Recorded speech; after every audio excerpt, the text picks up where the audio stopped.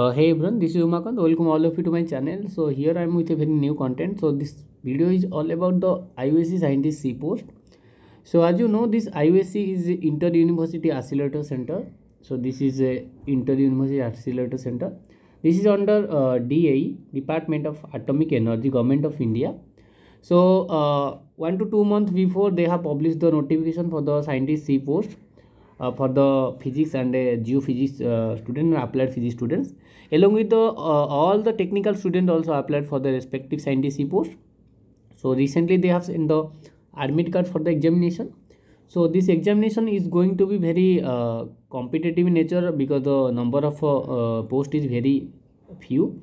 So if you see the for the physics uh, category, the total number of vacancies is seven. Okay, so there is a huge number of candidates get shortlisted for the written examination. So written examination is going to be held on 11th September. Okay, 11th September. So the thing is like uh, there is no previous question available. There is uh, no one is available who can uh, say the which kind of question is coming in this examination. So based upon all the factors, I would like to say one thing that uh, you please go through the syllabus first. So if you see the syllabus for IUC scientist, then the syllabus is very hectic. Why I am talking so? Uh, the syllabus is very hectic because uh, generally uh, we are physics student. So whenever we are appearing for the examination, basically physics questions are or physics question basically came. But in this examination, you will face question from different uh, subjects. Like if you see, then the nine papers of physics, nine papers of physics are there. This is general. Like you will see all the nine papers: quantum mechanics, statistical mathematics, electronics, atomic, molecular, nuclear, and solid state. Including all the nine papers, you will get the question. But the thing is not uh, uh, stoppable here. You have to be prepared about applied solid state physics applied solid state physics okay so along with applied solid state physics you have to prepare material science this material science. This is not a uh, small syllabus because this is a domain. So material science is a domain is a core uh, area. So applied solid state is also a core area. So this this include a lot of uh, topics that uh, one should prepare. But this is the physics uh, subject. The along with the physics subject you have to prepare about chemistry.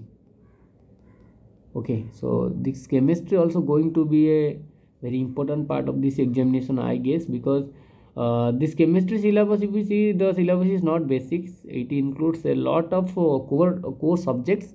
So i don't know how to handle but chemistry will be there. Okay. So this the main factor which will affect the examination hope. Then reasoning also there. Reasoning english are there so including all these nine papers of physics applied solid state physics material science chemistry and reasoning you will get completely 100 mcq question completely 100 mcq question of this examination. So this examination is going to be held for 3 hour 3 hour okay? And the question pattern is mcq negative marking is there. Marking is there so i hope the people will shortlisted uh, 1 is to 5 ratio for the interview not sure. Not sure i guess. 1 is to 5 ratio will be there for the interview shortlisting. So the people will get shortlisted for the interview. They will appear for the interview recently or the few days after the written exam. I am not clear about that but hope the interview will be after written exam or there will be a gap okay? I hope there will be a gap between interview and written examination. So coming to the point coming to the point of uh, examination okay.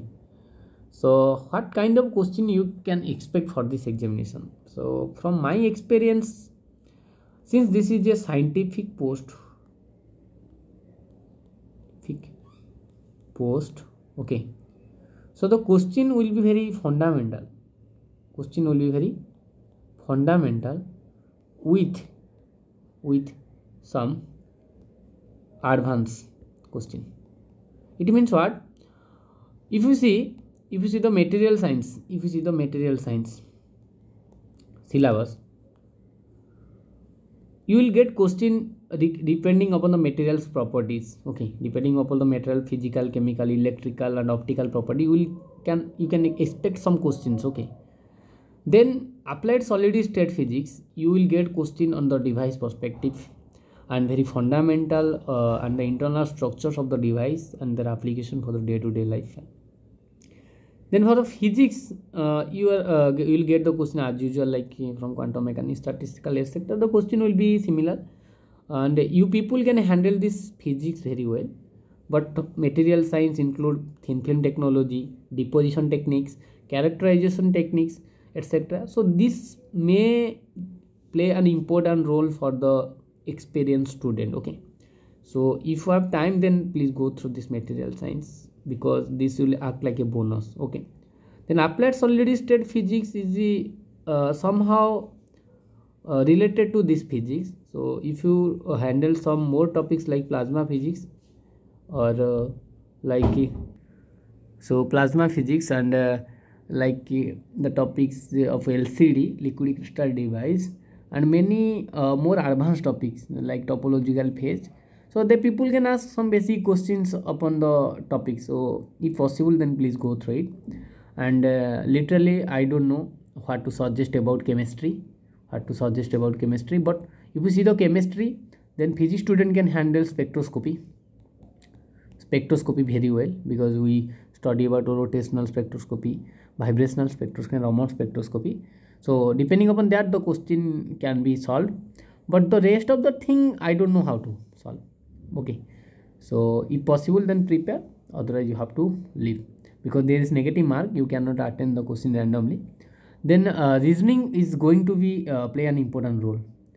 Reasoning is going to be play an important role because the people who are strong in this portion can uh, easily deal with the question so i hope uh, I, I, I, hope uh, i would like to suggest one thing that uh, please attend um, as much as possible.